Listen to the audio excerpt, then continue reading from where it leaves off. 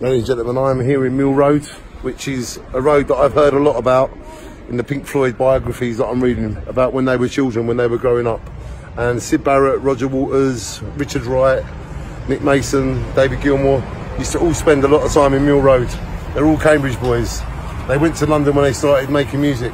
But this is where they done all their trials and tribulations. Ladies and gentlemen, welcome to Mill Road and welcome to one of the first venues where Pink Floyd played together which is now called the White Swan in Mill Road, Cambridge.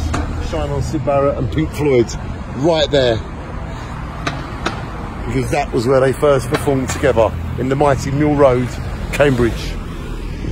Shine on.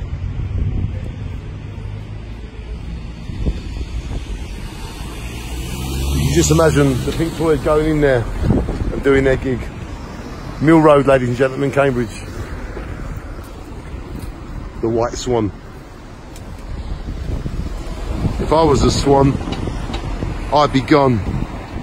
Shine on Pink Floyd forever, Mill Road. Mill Road today, 2019.